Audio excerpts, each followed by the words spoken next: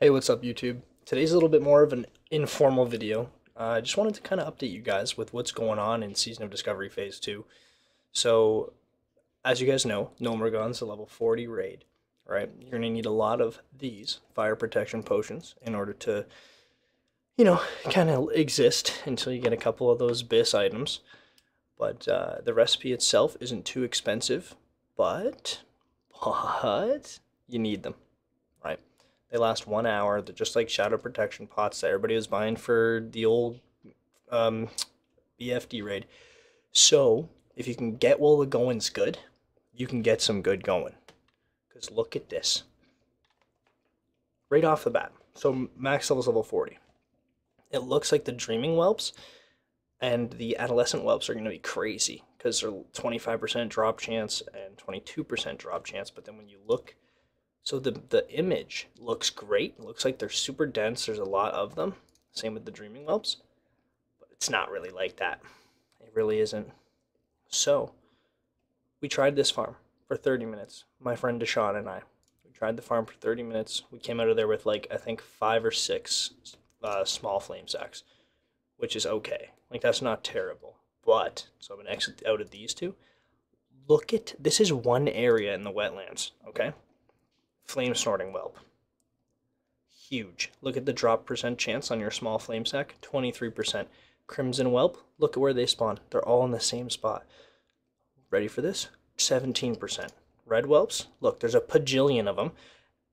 It's a little bit lower. This one's 9%, but so are the Lost Whelps. So there's two 9% drop rates and then you have your uh, what is it 20% 23% and 17% drop rate so you are rolling in these small flame sacks if you just walk up and down and up and down. And with two of you, so I was farming along this side, getting the flame snorting whelps and uh, the crimson whelps, and killing a few red whelps and lost whelps every once in a while. But Deshaun is cleaning up all this right side, and I'm doing the mountainside on like the left. Now, if you're looking towards the south of the map, incredibly efficient farm. Um, these fire protection potions, I believe, are selling for like a gold 50 plus right now per potion, which is ridiculous because all you need is one small flame sack, some fire oil, and some leaded vials.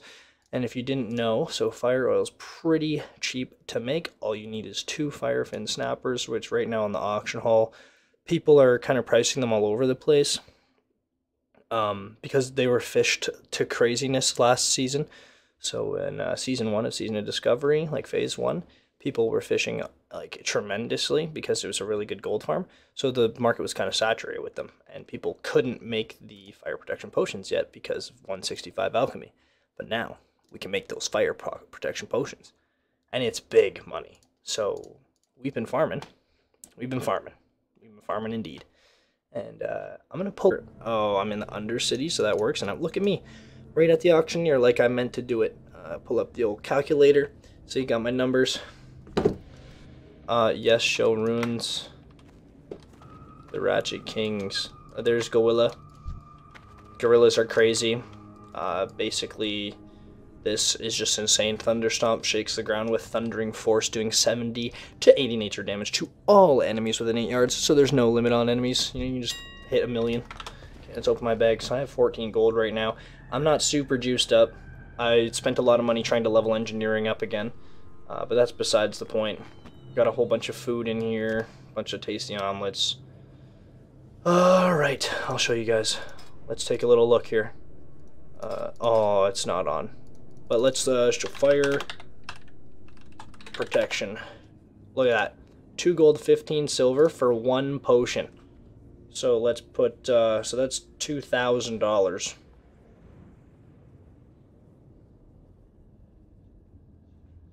Basically.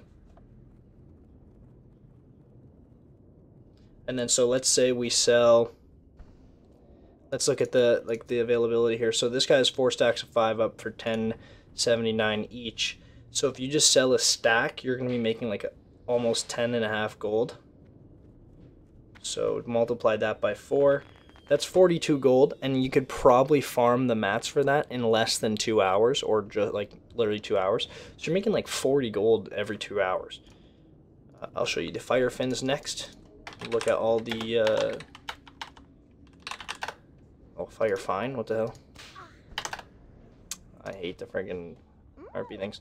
But see, some people still have them pretty cheap, like 9, 10 silver. And these guys are obviously just selling stacks of 20 because they know they know that fire protection potions are a must-have. People are starting to like understand they're hitting max level. They have to do the raid, so you know they're they're buying their potions. Uh, and then I will show you the small flame sacks. So even if you can't craft the potion, look at that, dude. Six stacks of one. Literally a gold 30 for one of these flame sacks. So I you might even make more money if you just sold your sacks. I know that sounds pretty gay, but uh, 1.31 times. Let's see what he has on there. So five. So you're making six and a half gold, and five. Literally, we got. I got seven in 30 minutes, uh, in the area that I just showed you guys that I just covered. So it's a pretty lucrative farm. Um, don't go spamming it, but. Uh, I'm just going to show myself off a little bit here at the end of the video. I'm not super, super bis, but yeah, I still need a couple things from BFD before I get rolling here. My helmet's okay, 8 agi. This is nuts, the kaleidoscope chain. In incredible necklace, I literally just got it from killing a whelp. Still have my BFD shoulders. This cape is awesome for killing the whelps, obviously. Increased attack power by 18 when fighting beasts. But I don't think they're beasts, so I'm actually dumb. Don't listen to that. 5 agility bracers, but here's my prized possession right here. Deadly Strike of the Hydra, plus 5 weapon damage. Looks pretty cool too. It'll be uh, my weapon of choice till I get the Ravager from Armory, the Scarlet Monastery there. But I have Beast Mastery on, and Melee Specialist, Flanking Strikes, and all my gear's pretty fucking sick. I could use a new waist. My waist is like alright. I have it on there basically for the 12 attack power. Uh, but my I have the raid set boots. I just need one more set for that plus 12 attack power, plus 6 agility ring.